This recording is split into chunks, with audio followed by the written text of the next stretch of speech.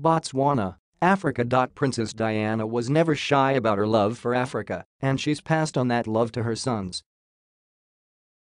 They've taken several trips to the continent, but Harry has a specific place in his heart for Botswana.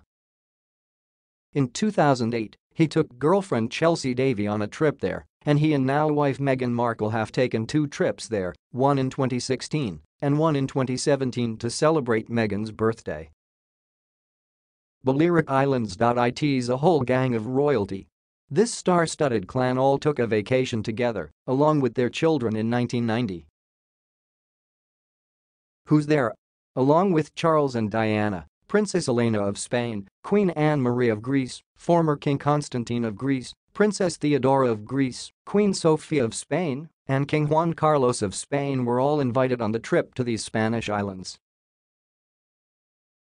Scrabster Scotland. During a celebration for Prince Andrew's 50th birthday and Prince Anne's 60th birthday, members of the royal family gathered on the Hebridean Princess boat in Scotland for a two-week cruise hosted by the Queen.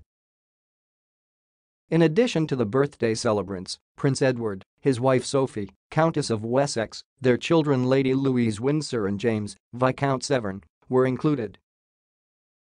Tuvalu.in The first royal visit to the Commonwealth since 1982, Kate and William were welcomed by the people in the Polynesian country with aplomb.